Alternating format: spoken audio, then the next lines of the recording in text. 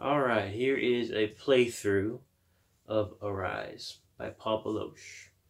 Go one, two, three, verse.